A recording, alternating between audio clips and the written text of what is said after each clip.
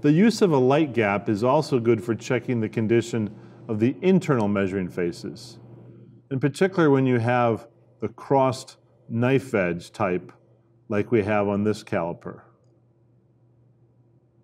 To check these internal measuring jaws, you don't create a gap, but instead you close the calipers and then slightly rotate it and look at that gap at an angle to check the condition of the measuring faces.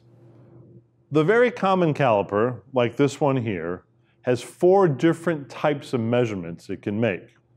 And therefore our calibration method needs to be properly engineered to sufficiently and most efficiently hunt down the potential errors.